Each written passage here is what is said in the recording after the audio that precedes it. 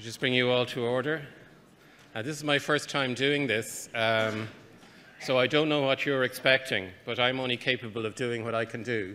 Uh, so I am going to give you um, a brief, and I am open to questions afterwards. So don't, don't expect a complete state of the nation or a layout of the precise programme of work uh, for SFI um, over the last, over the next uh, year or so but perhaps a broader um, sense of actually the spirit of the conversations that we had yesterday. I think we had a, a really great discussion um, uh, yesterday through the panel discussions, through the keynotes, and through the feedback from the floor.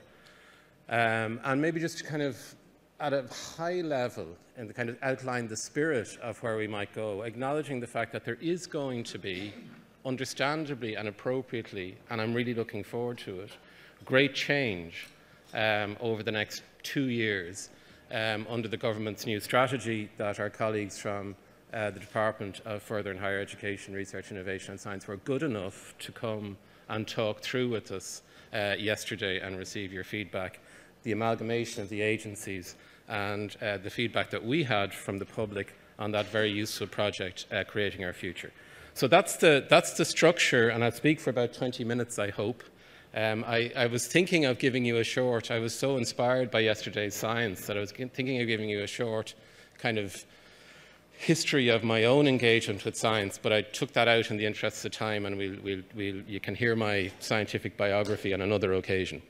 So this is the structure. I just want to start with an expression of gratitude, then I want to come to the conversations that we had yesterday and what I took from them, talk briefly about Impact 2030 and, and, creating our future, more what I'm taking from them in my leadership of Science Foundation Ireland, and then talk a little bit about the opportunity of the new agency at a very high level. And I want to talk a little bit about my personal view um, of the advantages of the arts, humanities, social sciences, science, engineering, mathematics, and technology coming together in, in one entity.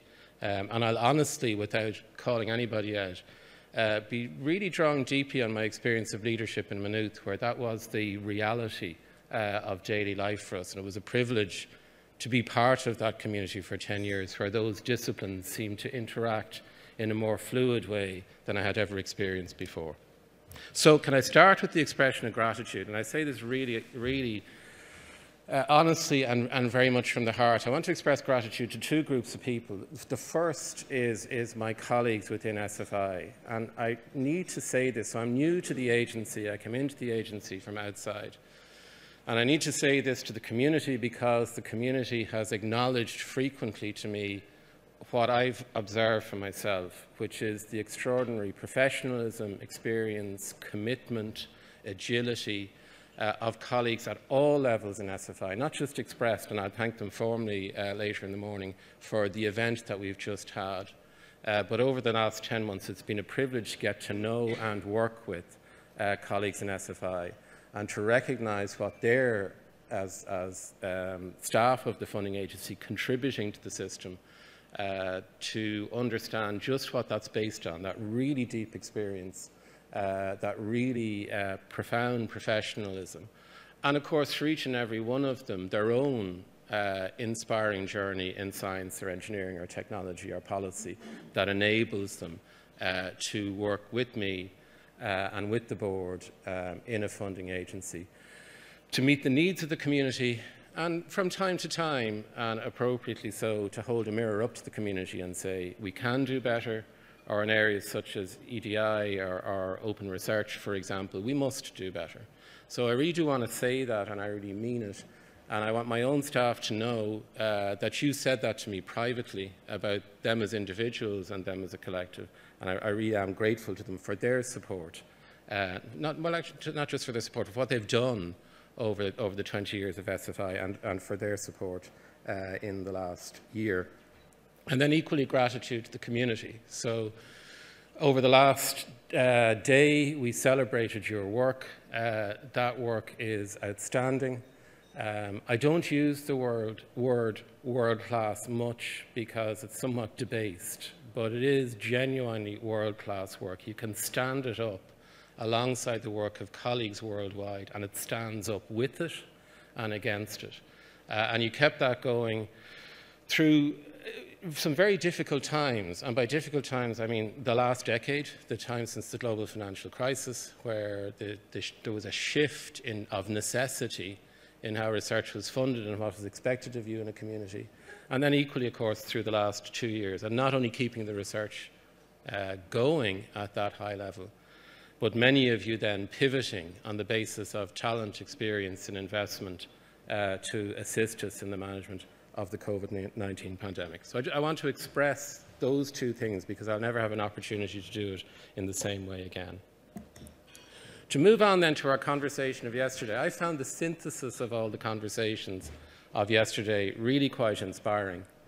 Um, you'll have heard my views on some of these things before, but I think what came across very clearly from the keynotes through the panel discussion and exploration um, of what came up during the day, this very strong sense that we all share of the almost equal importance of fundamental, applied and engaged research.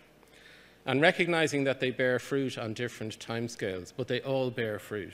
And the most fundamental research, uh, quite frequently and unexpectedly, over a time span of decades, um, uh, becomes an application uh, or an insight uh, for, for future development. But equally, of course, fundamental research bears fruit on the very short time scale of the talent that it attracts um, and the training that it provides. And there, there's nothing more important, in my view, uh, than the rigor uh, and agility conferred on a colleague new to the profession by a training in the fundamentals of their discipline and by exposure to work at the frontiers of their discipline. And that brings me to the second point, that we can worry, um, we can worry about how do we invest in fundamental research. And my view is we shouldn't worry. If we think about it as investing in talent and investing in, in talent working at the frontiers, one of the great correctives is nobody wants to waste their time. And the people best placed to understand where is the next region to explore at the part of the frontier that they occupy is the investigator themselves. And they're not going to waste their time looking at questions or addressing problems that are likely to be trivial are likely to be less than useful. They're going to address their time and energy to addressing the problems that they can see at the frontier that they think are most likely to bear fruit and most likely to be relevant. So I think that's the second key theme that arises out of yesterday's conversation and will inform our strategy going forward and already does, is that what we're really about at the fundamentals, in investing in people, working at the frontiers, trusting them to be asking the right questions, and I'll come back to that in a minute. And that creates, over the long term, the foundation for applied and engaged research. And I think there's a, there's a necessity for renewal here the last 10 to 15 years of our enormous success in engaged research, in working in partnership with others uh, to yield results for the environment, for society and the economy, is built on decades of prior investment in talent that could then apply themselves to those tasks. And as we look forward to 2030 and 2040, over the next few years, we need to make sure that we continue now to invest in talent and fundamentals. So we will have that talent and that capacity and that agility when fresh um, uh, applied challenges faces. And I was really struck yesterday by something which is very dear to my heart. I was an interdisciplinary researcher. I had to, I, I came to science with the language of electronics as well as the language of biology I could kind of speak kind of pidgin electronics, if I can put it that way. Uh, so I learned the basics of the language, and that allowed me to do a whole area of research that otherwise I, I simply couldn't have engaged in. And I was very taken by uh, Andrew Keen's comment about the overhead of interdisciplinarity. It takes time and effort and investment uh, to be truly interdisciplinary. Um, and we need to remember as an agency that we need to invest. We need to essentially cover that overhead and support people um, in doing interdisciplinary research because it's uniquely challenging and uniquely fruitful. And we do, I should say, uh, and very much through um, uh, the research centres in particular, but not exclusively, um, or the strategic partnership that we're, that we're funding that, that Andrew's the lead on, uh, very heavily invest in, in interdisciplinary research because we have the disciplinary talent that we can invest in. And I was also very struck by the power of engagement and the power of challenge-based uh, research to think again about how we do research, think about how we can accelerate research in particular areas because people want us to. Uh, because the people that are funding us need us to accelerate research in certain areas. And, and by Derek O'Keeffe's comment, which we've heard on many occasions but needs to be um, brought out more widely. In his case, the necessity of starting with the patient, and more generally, then for us, the necessity of starting with people uh, in general. Uh, I often say citizen, but I got to remember that not everybody we care about is a citizen. So the, the, the, importance of starting with people and their problems, not in everything we do, and it doesn't contradict what I said earlier about also looking at the frontier of knowledge and what do we need to do there, but starting with people and their problems. And um, from Professor uh, Echegbu, um, I think a really crystalline point. I think, I think th those keynotes and those panels brought us to the point of realizing maybe we are not engaged with people and the public as much as we should be. And maybe we're not humble enough in those engagements. And so these are not really my words, these are a synthesis of what other people had to say yesterday. The truth is, and I, I have to say, I find this with, with, politicians, I find this with public servants, and I find this with people. People care about research as much as we do. They really do. They're as curious as we are. We got that wow moment yesterday when we saw those uh, images from the uh, James Webb Telescope. Everybody reacts to that in the same way because we are all human and we all share the same concerns. So I, I may be foolish in this, um, uh, but I fundamentally believe that an honest conversation with people, with the political system, with each other, about what are our real objectives in research, from advancing knowledge right out to uh, providing real solutions to people with healthcare needs, uh, to biodiversity loss, to the climate crisis, an honest conversation about these are the things that we want to do. And our solutions are not going to be perfect. Our solutions are not necessarily going to be quick enough. We're going to make mistakes. We're going to get things wrong. So an honest conversation about what uh, research brings to the system um, is, is vital, I think, to winning long-term public and political support. And that's why I'm such a fan of the Creating Our future initiative. That was an honest conversation, it was a genuine listening, and it's important that we, we, we maintain that. So I think it's important then to engage early and to engage then with humility. Um, uh, your view is as important as ours now when it comes to defining the problems, uh, and we need to have a conversation where we correct each other gently uh, all the time. We need to approach that conversation with diversity. People need to see the diversity of the community we have, and we need to work on the diversity. And it also needs to be approached with confidence. Um, that's actually the big barrier. Is look, I'm comfortable here in my lab or my office or wherever it is. Uh, getting out and talking to people is challenging. And then as a consequence, we, we not need not just to be representative of, but we actually need to be part of the community we serve. We don't need to see ourselves as something that stands apart and, and needs to be, for equity or equality reasons, representative uh, we need to be really part of the community.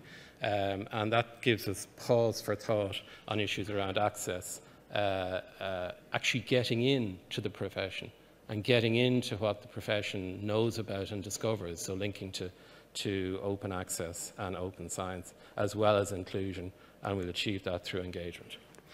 So that's why I like this strategy. Like, uh, like every strategy is what you make of it. It's words on a page. You can embody it or instantiate it in different ways.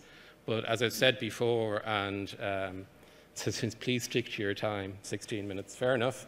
Um, uh, so uh, moving, moving quickly along, but to acknowledge that, you know, governments don't always hand you a strategy that you can buy into. Uh, so this, for me, as, as an academic, as, uh, as the leader of a funding agency, is a strategy I can buy into. I'm particularly taken by the first shift in emphasis.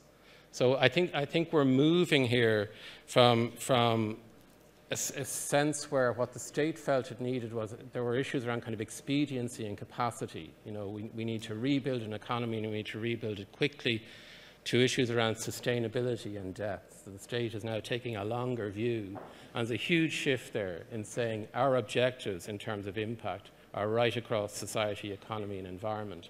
And we need to take those, those in the round and I would suggest it starts with the environment and we work back because all the others have to be sustainable within that planetary boundary.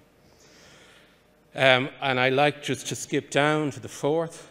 Um, the focus on research talent for me is the transcendent thing. That's where we start, uh, and that's where we're going to. Uh, that's how we're going to enable all the other goals. The importance of investment, um, and the importance also of skipping back up to there has been huge success in, in this country driven by this agency in terms of optimizing the engagement between the research community and enterprise. And we can do more there. But this strategy broadens it out to include equally important uh, colleagues in the public services and a broader engagement with citizens, and also in, in the fifth pillar, uh, emphasizing the importance of extending our international connections, again, an area in which the agency has been successful. And um, I really am taken by this document and I'm taken by the fact that we were brought back to it yesterday, not by citizens, but by our own scientific colleagues who are saying there is complete homology between the things that concern us and the things that concern people. So I'll be bringing us back time and time again uh, to this list of 16 priorities or 16 themes through, formed through this excellent uh, piece of work, which I found incredibly useful since, since I started, and I really want to congratulate uh, my colleagues and colleagues in the department uh, for leading this work. And I'm not going to go through them uh, in detail, but I am going to just remind you for a moment of the one on the top right, safeguarding public interest and trust in the digital world, because I want to come back to a different perspective uh, on that, a, kind of a non-scientific uh, perspective in a moment. So, what do I see as um, the opportunity then presented by, again, put very nicely by our colleagues in the department yesterday, it's not all about the amalgamation, but this is a key enabling step to the vision um, of a holistic addressing of the societal challenges that I put up on the last slide. So we can look at this in a variety of ways. Uh, we can look at it kind of instrumentally, and these are the instrumental, really important strategic um, opportunities presented. It is an opportunity to place all research disciplines on an equal and statutory footing and to be equally inclusive and responsive and professional and rigorous in how we allocate funds across those disciplines but it also gives us, and this is an opportunity not to be uh, trivialized, it's, it's non trivial uh, to drive a step change in interdisciplinary research activity. And I'll just bring, it, bring you back to anybody who talked yesterday about interdisciplinary research. It is thrilling to do interdisciplinary research. It gives you new excitement, new insight, um, but it's difficult. So we have an opportunity here in a unified agency to really drive that and create links between disciplines uh, that simply don't exist. It also gives us, I think it was very welcome to hear from the department yesterday that the new thing, not the new agency as an agency, but the new portfolio needs to be bigger. Uh, so they are, they are saying we will invest more in research, but we want to invest in research which is holistic in this, in this manner. So it does give us an opportunity as we go through this transition to optimize the balance between fundamental, applied, and engaged research. And you know we're doing that anyway. Um, you know we're thinking about our portfolio and how do we make sure the balance between these, these three different components um, is optimized. You know we're looking at the research centres with a view to building on that model to achieving some consolidation across the system, to creating space for, for new joiners, but also, and very importantly, to ensure that we enable those research centres to operate right across uh, the technology research, uh, readiness levels, to make sure that there is as much fundamental research going on in those centres as there is uh, applied. And, and, truthfully, there is. Uh, we need to understand their portfolio better and then optimise it.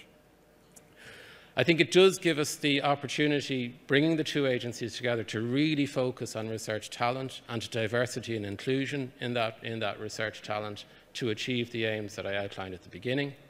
I think it offers us the opportunity to build these wider research partnerships, build on our experience, as I say, uh, in particular through the centres, in engaging with enterprise. Uh, I've said this in other forums, but there was a really fascinating Institute of Physics report uh, out about four months ago on physics-based enterprises' engagement with academia and won several headline figures. But if you look across the numbers in that, the level of engagement in this jurisdiction is about twice the level of engagement in the UK. So, for instance, about 17% of UK physics-based enterprises access infrastructure through the higher education system. It's about 35% in the Republic of Ireland. And that's because of the work that you and the agencies have put, and the agency have put in to creating those connections, creating that infrastructure. And we need to build on that. We need to make sure that that is not nurtured and developed through the transition and extended out to the public service and civil society. It gives us the opportunity to respond to the grand challenges, and it gives us uh, the opportunity to strengthen public involvement and engagement in research. Now, I'm sure there's things I've left out of this, um, but broadly speaking, um, that's the kind of amalgamation that I would like to be part of and I, that I'll assist in driving.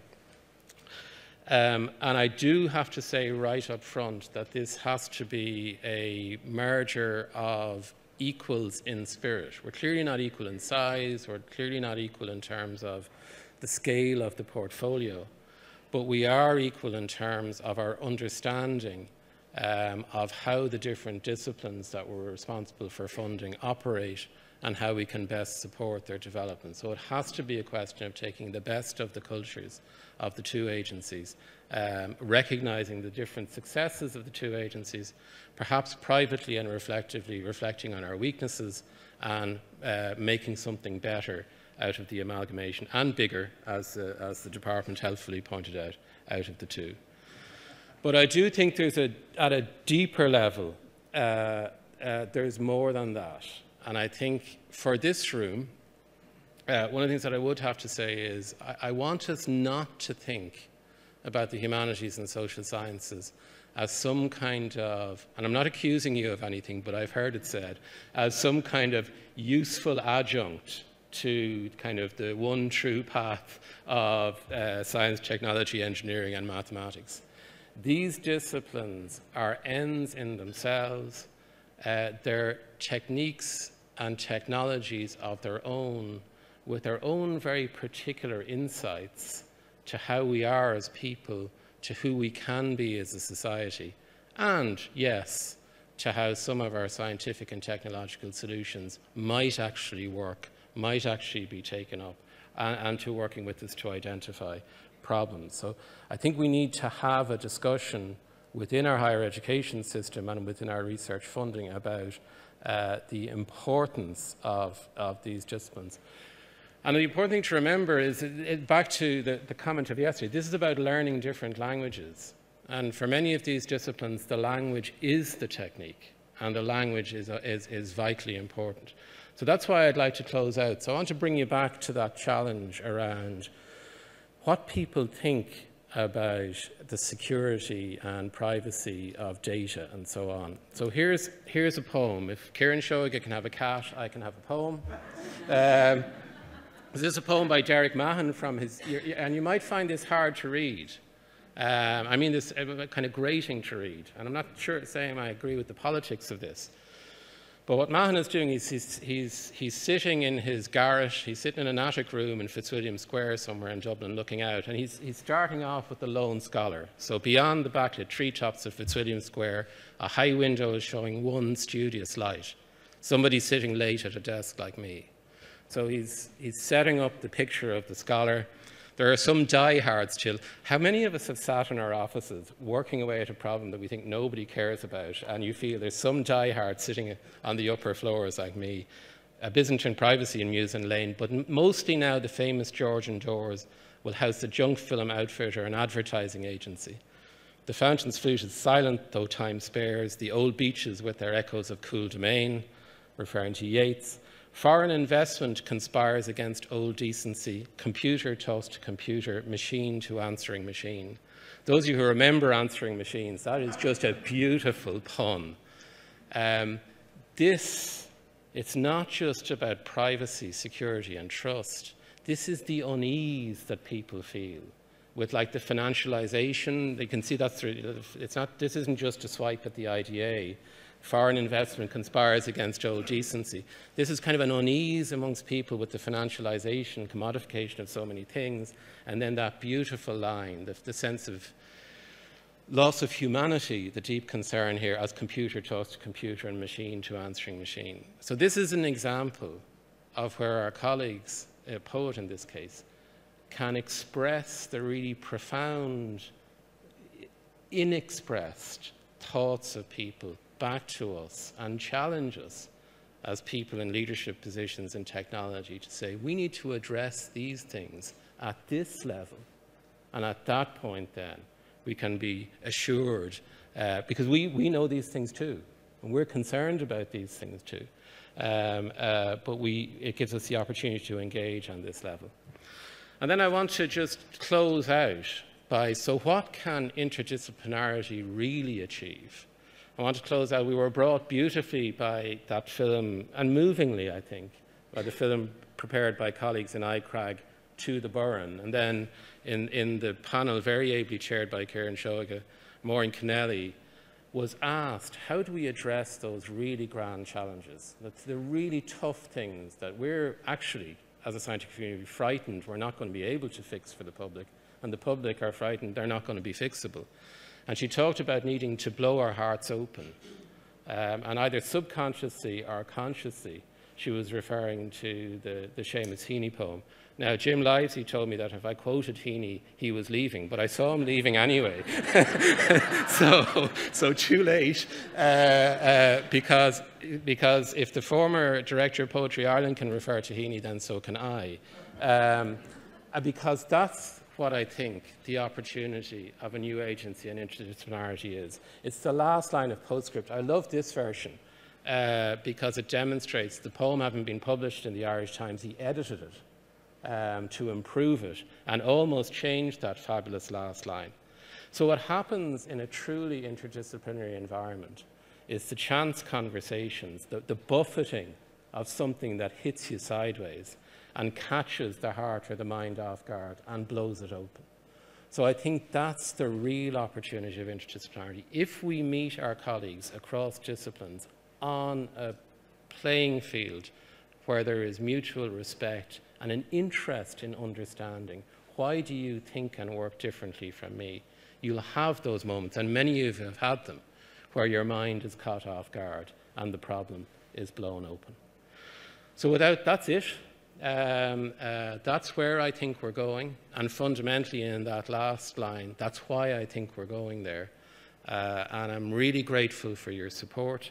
And if we have time, I'm more than happy to take any questions uh, that you might have or that might have come in on Slido, if there are questions on Slido. Are there?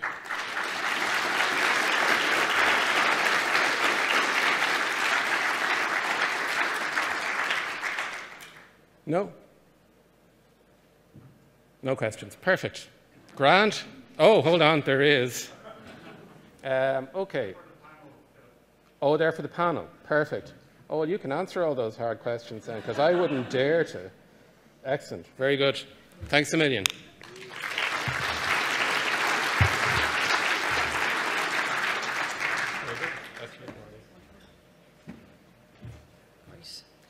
Good morning, everybody. Thank you very much, Philip. For people who don't know me, I'm Norelee Kennedy. I'm the Vice President for Research at the University of Limerick.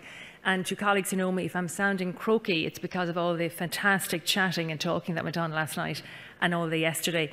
So before I open the panel, I would just like to thank SFI and, and, Philip particularly for the opportunity for all of us to come together at this wonderful summit. I mean, the buzz, the energy, the enthusiasm, the excitement, it's just fabulous to be back in a room together with colleagues and having these wonderful conversations. For those of you who also know me will know that I won't be quoting poetry or having any poems, but I would not want that to sound glib at all. Um, I think think we're in a very exciting time for research in Ireland.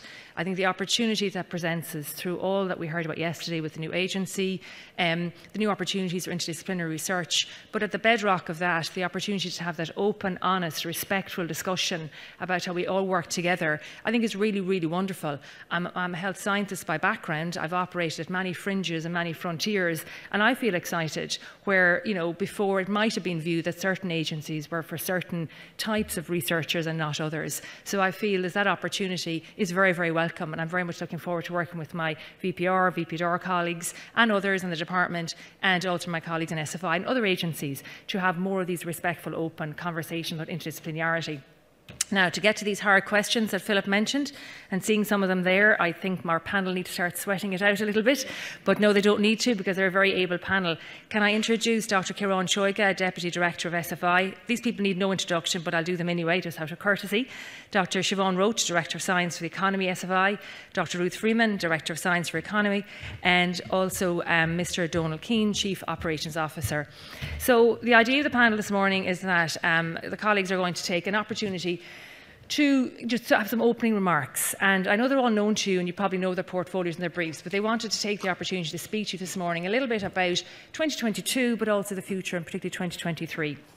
And we are going to keep the conversation a little more on the kind of high level rather than the nitty gritty, um, because you do, you know, have opportunities through your contact points and others in SFI to get into some of those really specific right. questions about maybe an amount of funding or when a call is going to open.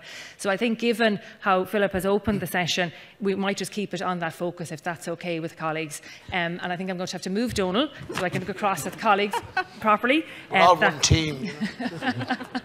that's okay. So can all hear me all right there. I might start down with you, um, Ciarán, if that's okay. If you just want to do your kind of opening comments, we'll move on then to Ruth, then on to Siobhan and finish with Donal, and then we'll start with the tough questions. Grand. Actually, I was very pleased to see Donal sitting up there. I thought he was going to ask all the questions.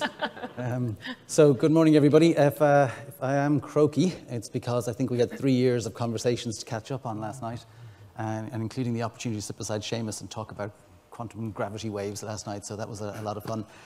Um, Look, so briefly talking about 2022, it's kind of hard to believe that it was four years ago that I first came around to talk to most of you about, you know, what is going to be the next strategy for SFI, going to all the universities and institutes of technology as they were at the time and had that conversation. And it then turned into, you know, sometime later, our strategy. Now, of course, the, the pandemic has slowed us down in many ways, but what would be good to talk about is we set a very ambitious strategy. You'd have heard the chair talking about it yesterday as well. We said there's, there's a lot of big things we're going to do. And they were big and they were hard and they were ambitious. And we're well underway. Uh, you know, there's a lot of things we've already achieved. And there's a lot more that I'm going to talk about for 2023 that we want to do next. But of the, the big achievements, some things we said, and there were some skeptics out there as well, because we've pushed the boundaries out. We said we're going to need to grow a lot of things. We're going to need the budget to deliver on these things, because that's what we heard loud and clear as we, as we had the conversations. We've also heard loud and clear about consistency and core programs and those as well. So they're all built in and enshrined. But on top of those things, if you think about the things we said, we said we would do that public level engagement at a scale that hadn't been seen before. And that was creating our future. You know, something on the largest scale in the history of the state in terms of public engagement on research. And we did that last year. Right? And we did that with you, with the department, and with others. And that's kind of, you know, something big we said we would do. You'll hear from my colleagues just now, we said we wanted to really take challenges, challenge-based funding to the next scale, to be the national agency for challenging. And that's kind of de facto happening at this stage. We said we wanted to do more in terms of north-south collaboration, and you'll hear Siobhan talk about it. We said we wanted to do hubs for regional hubs and investment in research and innovation at that sort of very sort of early stage, translational research as well. And you'll hear us talk about that too. So we're starting to tick the box on each of these things. And if you look at our strategy and combine it all up, we basically needed, on top of our core budget, an extra 600 million over the next five years in the lifetime. That's not small, it's ambitious. But we're actually well underway with about 400 of already identified coming down the pipeline of the six. We've got a line of sight for the rest of the 200 and beyond. And that only comes about if we're delivering really good work. Right? Because we take the work you've done, we go to Europe, we go to other places, and we say, look, it works. Right? This investment, it returns really interesting results, really interesting science, new knowledge, new solutions, new companies, whatever else it is. we make those cases. And that works, and it really has an, an impact. So 2022, and you know, since we launched the strategy, it's been a huge success. We've made huge strides forward, and there's a lot more to come. And in fact, we're just getting started. So there's a lot more for 2023 and beyond that we want to do. But the one caveat I'll put in there is what wasn't in the strategy is an amalgamation. Right? So we hadn't quite predicted that uh, as something we were going to do. And those are quite distracting. You know, there's things that you do in an amalgamation that will take time. It's a lot of work. If you've ever been involved in some of this, as I know a lot of you have been, um, these things are, you know, there's a change management element. So we could be, get a bit distracted from that. Just to give you a flavor of some of the things we'd like to do in 2023 and beyond. And actually, just in some of the conversations yesterday, kind of reminded me of where we're going and where those things are going to be. We know we've grown investment in certain areas, but what keeps us awake at night is growing investment in some of our core programs. That's a bit of a problem for us. Right? So that might be our Frontiers programs, our Pathway, it could be our, our research centres and other places. That's a challenge, right? and we know, we know we need to sort of turn our attention to that. We know as well, actually, talking to Walter Kolch last night, he reminded me as well, and something else in the strategy, we need to be looking at how we can reduce the administrative burden in the system. Right? How do we get more time back into the system, not through extra cost, but actually by just taking out some things that have probably grown organically over the years, which is something we need to look at.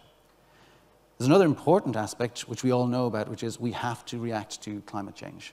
Right? We have to do something. Wouldn't it be fantastic if this time next year we were sitting here and we had become the most sustainable eh, research ecosystem in the world. Right? If we set ourselves a goal that we're all going to be green labs, and we're going to have a new award potentially for you know, the sustainability champion that we do award at the dinners the night before, right? we have to set ourselves those you know, big, ambitious targets to make a change and make it quickly. So those are the kind of things we'll look at next year. So we have big ambitions, lots of change we want to do. We want to continue our collaboration as well with other departments, agencies across the, the, the country and internationally as well. So we have worked on those in the last year. In fact, when we listened in the strategy, one of the things you guys said to us is collaboration across the system. And it didn't matter if you were an academic, if you're the public, if you're enterprise. Collaboration in Ireland is a, is a key for us because we're a small, interconnected nation. That is our secret sauce. And it's something we're going to continue to do. We've done in last year, and we're going to continue to do in the years ahead, which is continue to collaborate with other funders internationally, locally, and government agencies and departments, because that Team Ireland thing is something that makes a big difference.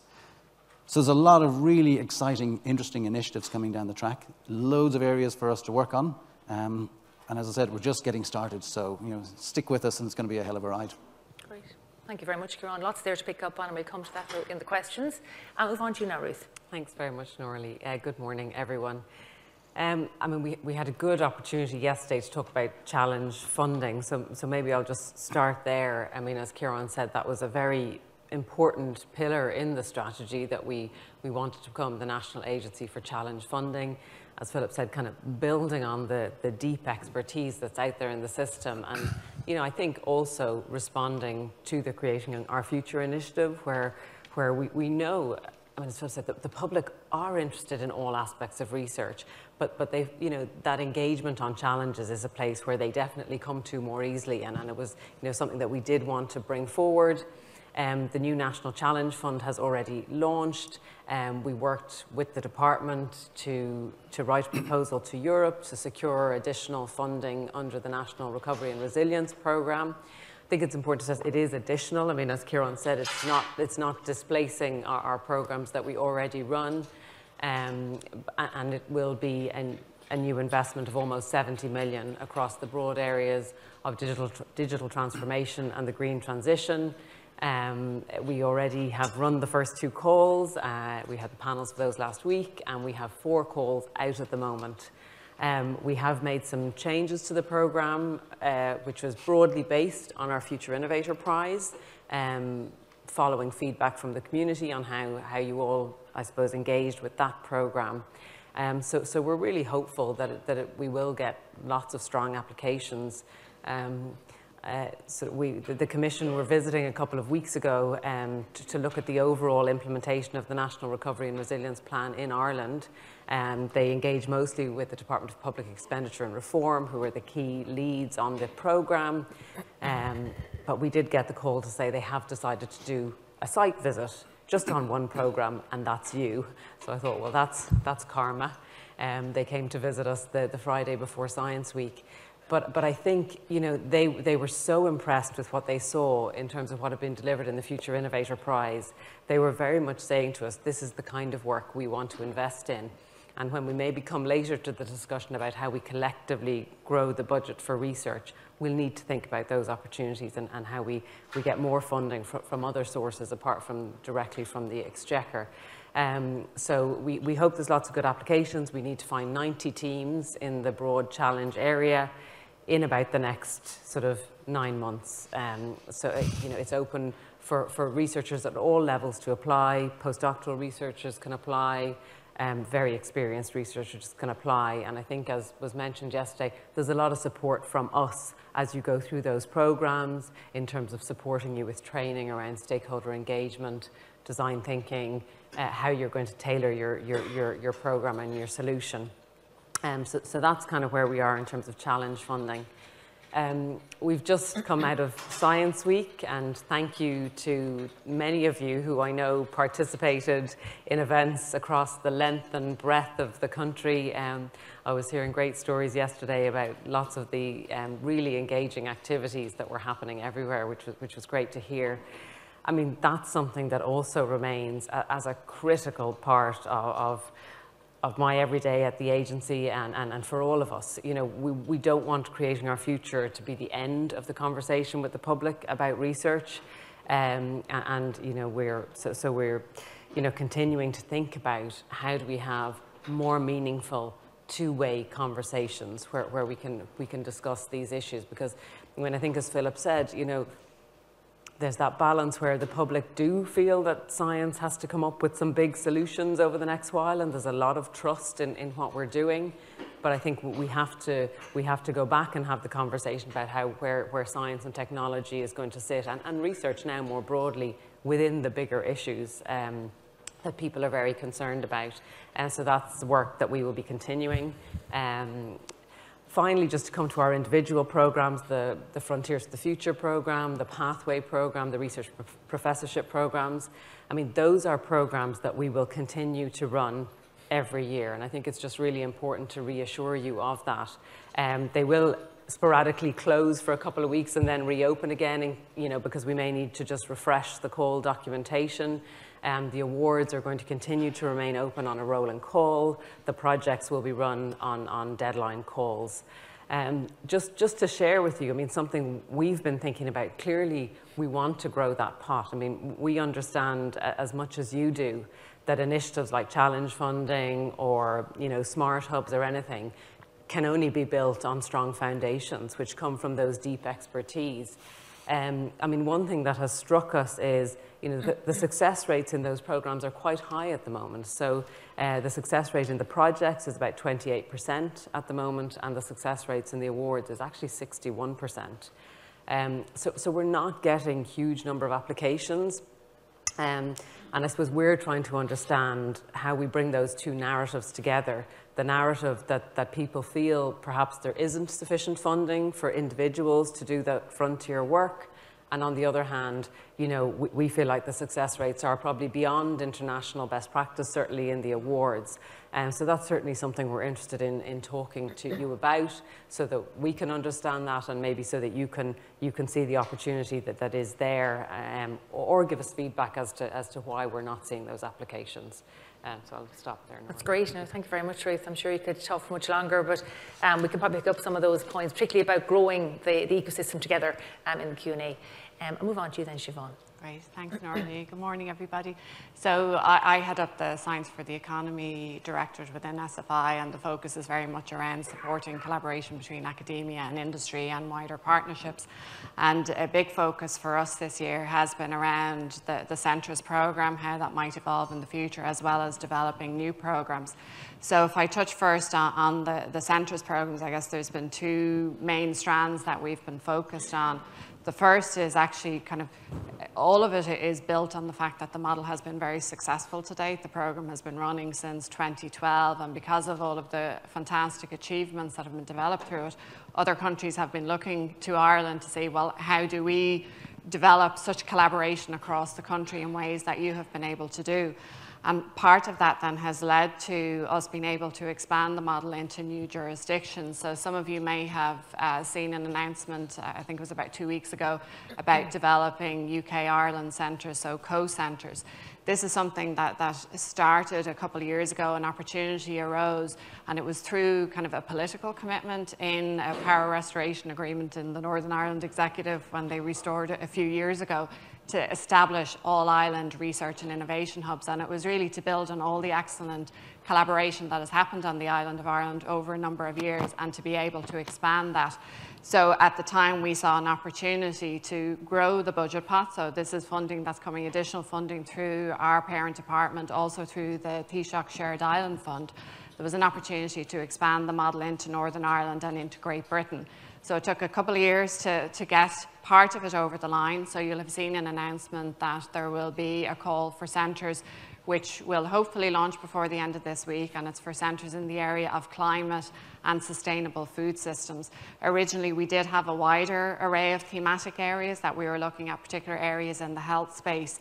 They are with a, a, different government department, so we're still focused on trying to get those over the line. But right now, we have a partnership with the Department for Agriculture and the Environment in Northern Ireland and UKRI. I'm very excited to, to launch those later this week, so we'll provide new opportunities for the system. The, the other part of, I guess, the future of centres is we're, we're going through a bit of a, a, pivot point at the moment. So many of you will recall back in 2012 when the centres programme launched, we had previous CSETs and SRCs, and we then built on the successes of those models and launched the research centres model. Now we are, are, looking at what should the future look like for the programme. So this started last year by bringing in an external panel of experts who evaluated the programme, met with various uh, stakeholders, some of you, you sitting here in, in, the audience, and really they were blown away by the success of the model and they, the strong feedback for us was, you have a really unique model in Ireland and now here are some ways you can expand and optimize and really strengthen that model for the country to deliver even greater impact. So what we've been doing and kind of working with you over the last year is really seeing, okay, how do we implement these in the future of the model? And it's about simplification, optimization. So you'll have heard uh, Philip talk about consolidation of centres. So we're moving to a system where overall there will be less centres in the system. We see opportunities for synergies between different centres that currently exist to be exploited. We want to grow the excellence that already exists in the centres, introduce cohort-based PhD training, enhanced infrastructure. So it's really to absolutely grow and strengthen what's already there while maintaining very strong collaboration with enterprise, but also widening it to other stakeholders. And that comes back to the focus of the new agency around this wider interdisciplinarity and partnership approach. The duration of funding will be longer. We are looking to align back to national research priority areas. I, am aware this is causing a little bit of concern in the system, and we, we can talk about this a bit more. We have always had alignment with national priorities for the, the centres programme, so this is just main, maintaining that consistency. The other key point, I think, around it is we've been really conscious that we haven't been able to open up the programme to new entrants for a number of years. So we have to kind of, with a, a, given budget pot that we have, look at, well, how do we continue to build on the excellence we already have and then recognise there are other opportunities that could be uh, suitable for centres in the future. So next year, before the end of the year, we will be opening up a call for centres that will be open to existing centres who look at the, the ambition of the new programme and reconfigure, and then new entities that, that haven't had funding uh, previously as a centre. Lastly, uh, quickly, the, the Smart Hubs is another programme that we are starting out in, in the new year. This is something that was an opportunity that arose through Ireland's National Smart Specialisation Strategy, which is funded through the EU. So we had, as Karen said, we had an objective in the strategy to set up research and innovation hubs to really uh, accelerate the commercialization of early stage research. So what we are doing is going to develop these regional hubs that will be open to researchers across the island, uh, across the Republic of Ireland, to be able to access funding, to really work with experts in that particular domain from a very early stage in, in the concept and translate that research through continuity of funding we're trying to minimize bureaucracy. We, have heard that come through uh, today in the conversations and really kind of bring on board what is needed from the very earliest stages to uh, translate that research and develop entrepreneurial researchers in the process and really streamline the process for funding flowing into Enterprise Ireland. So that is something that's still in development. We're still working with the system to fully shape that programme but it is a new opportunity. It is earmarked funding. So again, this was something that had to align with the regional smart specialisation. It's not something where funding can be used for anything. It was a very specific pot of money, but I think it's a huge opportunity to tap into a gap that we have seen in the system right now. So I think I'll stop there. And, uh, That's great. Thanks, Siobhan. Um, lots in that. And hand over to Donal.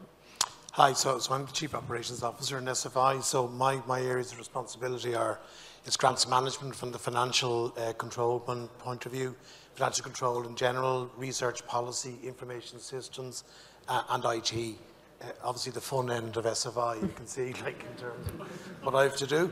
Um, so I'll take you through just, you know, briefly some things that we, we covered in those areas, uh, and I'm representing obviously my, my, my, colleagues in each of these today. So under the grants management, I mean, it's, it's fairly basic stuff. It's the, the issued letters of offer, the managing of, of grant payments over the lifetime of, of your awards, uh, the changes processing that, that we do in terms of no-cost extensions, budget reallocations, award transfers. So in terms of us informing ourselves about that, and this would be under Joan Hines and, and, and Elliot McVan, we, we also constantly engage with the research accountants in all of your institutions um, to be available to them, to provide guidance when they have questions, to make sure that everything is, is, is, on the straight and narrow. And we have an annual workshop. We had it there about a month ago where we kind of take feedback from them as to how we can improve in terms of what we do. Now on financial control, which would be under Joan Hines and Sarah Smithick, both are here, are here today. Um, I mean, I think our overall aim there is, is, is obviously a clean audit report.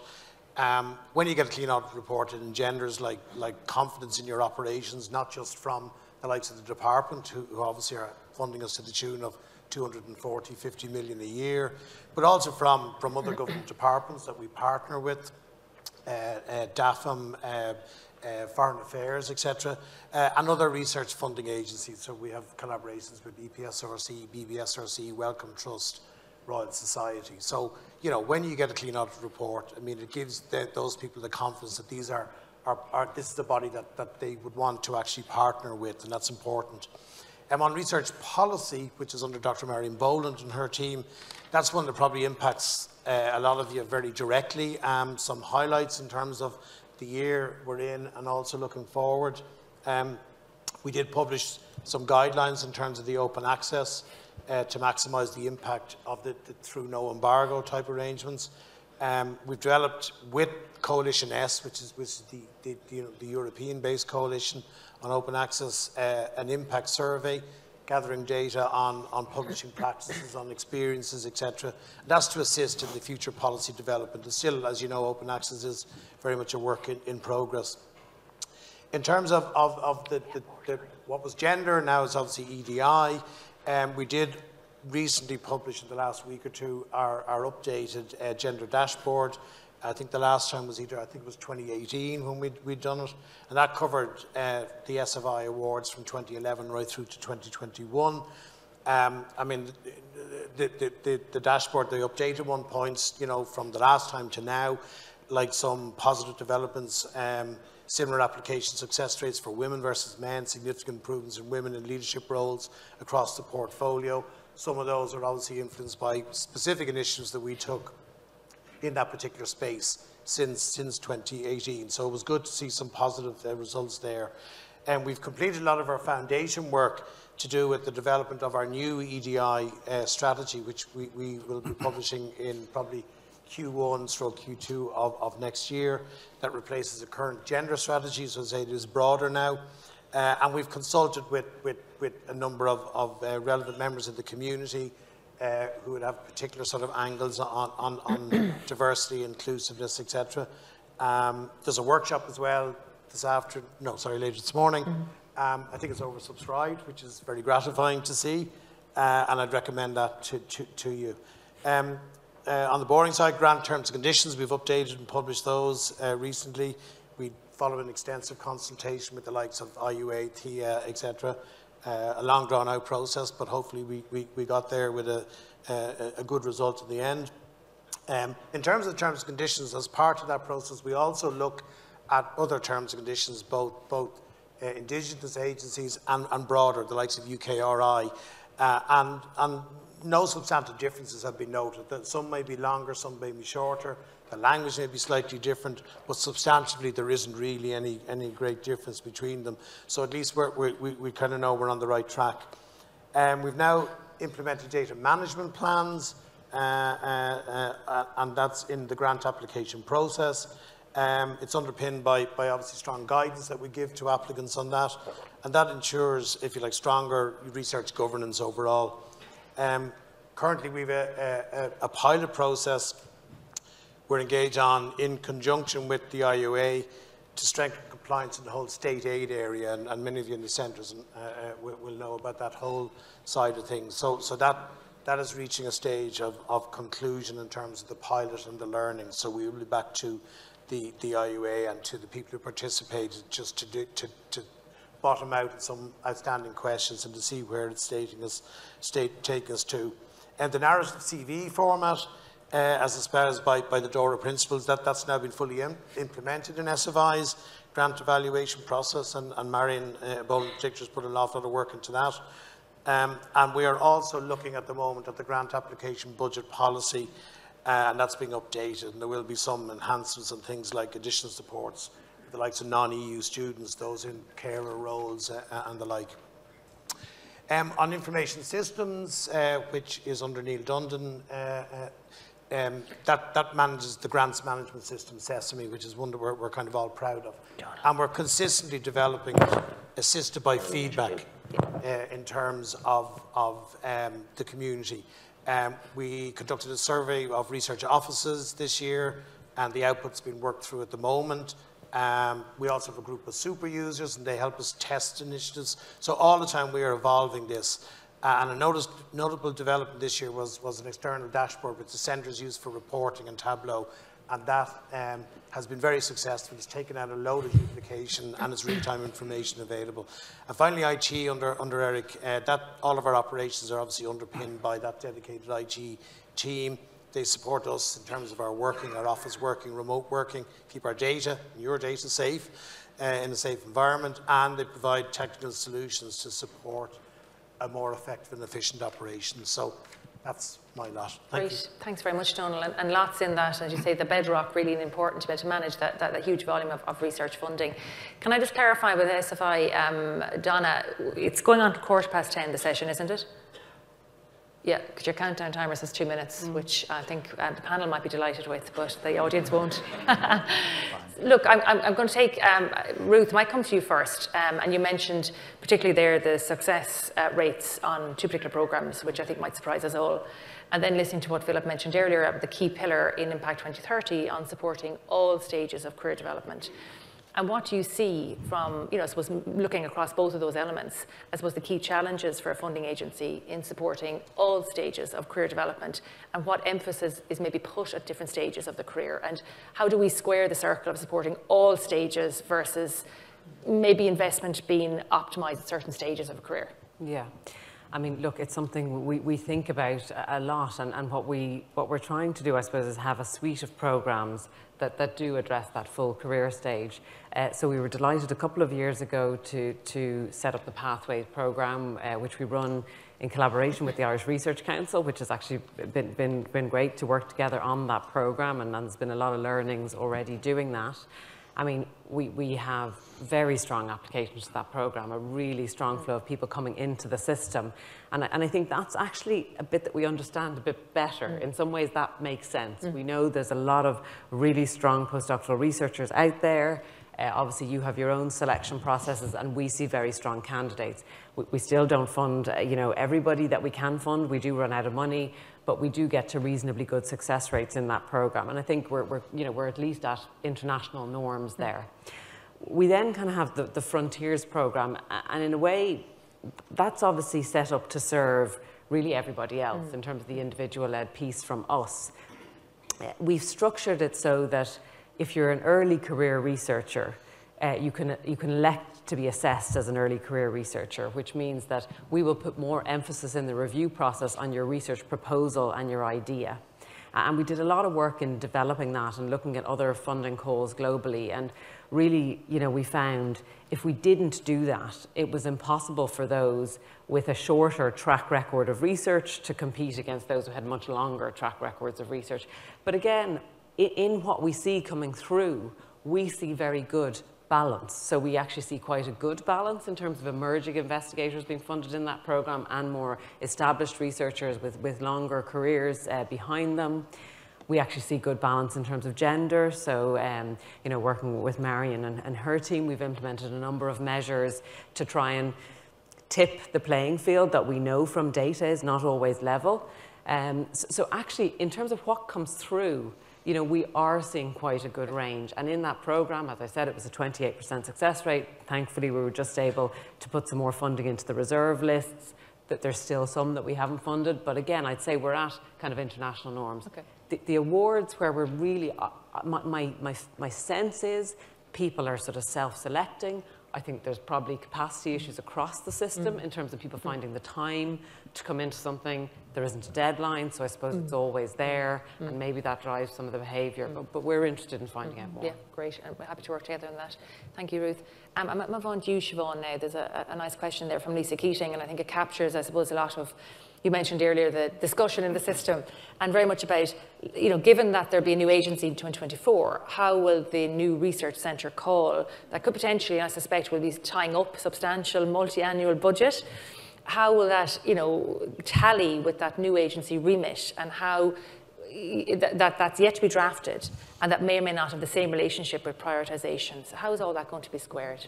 So I guess first of all to say we're always looking ahead, even though we're, I guess, strongly instructed it's business as usual for the moment. We're very conscious of the fact that this is a multi-annual commitment that will flow into the future, into the new organisation. But if I come back to the, the comment I made about the wider focus of the, the new programme will be, whereas I guess when the programme first started, we were in the middle of an economic crisis. It was very strongly focused on delivering economic impact to Ireland we now have an opportunity to widen that focus. And I know that the centres themselves have talked about all the great work that they do in terms of working with different societal partnerships, and that that is a really integral part of centres as well, and kind of the environmental impact that can come from centres.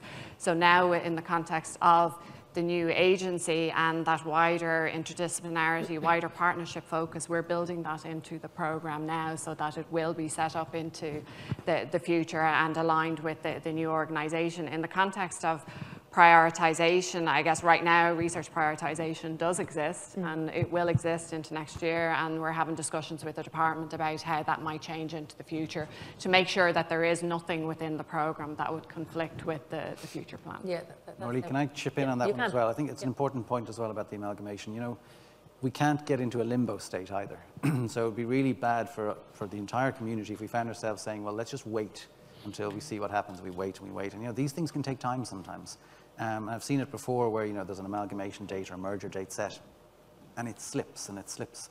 And there's nothing worse than looking back and saying, you know, after two or three years, if it did, right, and saying, God, I wish we'd gotten on with some of these things. So, you know, the, the instruction we've been given is we really need to keep pushing forward with all the intents and objectives of both agencies to continue to do that business as usual and continue to do the progress things that we would naturally do. Thanks, Ciarán. And just to circle back, that balance them between the breadth and depth. So, you know, people are obviously trying to conceptualize the future and notwithstanding, I, I, that, that's a valid point about the need to move forward. And it's important to hear about the connectivity with the ongoing prioritization work and the new work. But what is, what I suppose assurance or, or, or what can you talk to about how the balance will be kept in this new centre landscape um, with new entrants in the five prioritisation areas and ensuring that there's depth and, and specialisation and research excellence to the fore, uh, while also ensuring that you haven't got maybe imbalance in the system across those five areas. Can you speak a little bit about that, Siobhan, as to what, what, what that might look like? Yeah, so I, I, guess firstly it's to build on where, recognising where we have strengths as a country. So when we talk about five areas, some areas may have greater uh, capacity in terms of research uh, scale in Ireland at the moment so it's really to kind of recognize where we have strengths and, and build on the successes that we have delivered to date. So as I said earlier, the program has always been aligned with prioritization. The reason we're trying to simplify it is we've gotten a very strong message from a number of external stakeholders that the system is very complicated and for people coming into Ireland and looking at the centre system, it seems like there's way too many centres for a, a, country of our scale. We have looked internationally to see is this a, a fair judgment and it, it, I guess it has borne through to a degree. We always look internationally at what best practice is when we're redesigning programmes. So that has been kind of the, the first layer in terms of looking at this new programme. And the research prioritisation areas, the five broad areas, seemed like a good approach to maintain the consistency with the previous programme. As, the pro as I said, when there was previously 14 areas, all of the centres had to demonstrate an alignment, primary alignment, secondary alignment to the different areas. So we're using that as a broad structure to show a simplified system to the external world. But within that, it doesn't mean that one centre bid that comes in has to cover the full breadth of that area because those areas are mm. incredibly broad. Mm.